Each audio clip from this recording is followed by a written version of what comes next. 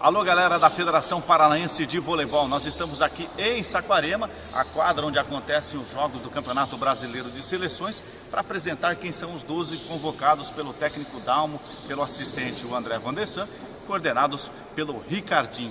Vamos aos nomes dos 12 atletas que vão vir a Saquarema defender as cores do Paraná.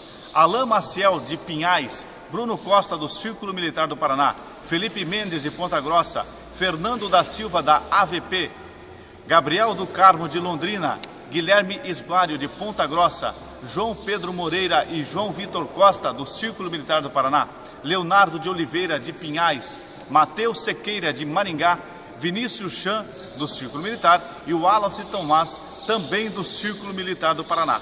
Nós estamos aqui já em Saquarema esperando por essa seleção. Mais informações sobre local de treinamento, período e todas as informações dessa seleção você encontra no site da federação no setor de notas oficiais. E nós voltamos já na sexta-feira com a convocação da seleção feminina infantil e, claro, a torcida pelo voleibol do nosso estado.